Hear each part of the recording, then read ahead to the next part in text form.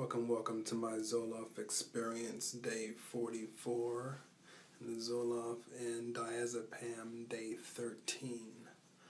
Uh, my update for today is I actually updated my ZoloftExperience.com page just to put some more information, you know, give you more of an insight about my actual experience on you know, some history of, you know, where my anxiety came from and, you know, what's led me to the point of actually having to take medication. So that'll be some pretty good information to read on ZoloftExperience.com. And again, I'm also just, you know, really appreciate you guys subscribing because, you know, this day to day journey is just, you know, it's all new to me, you know, so.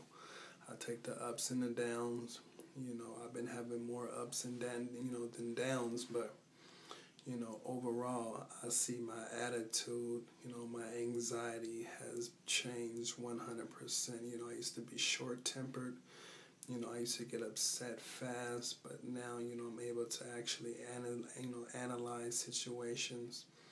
You know, my anxiety level, I'm more relaxed.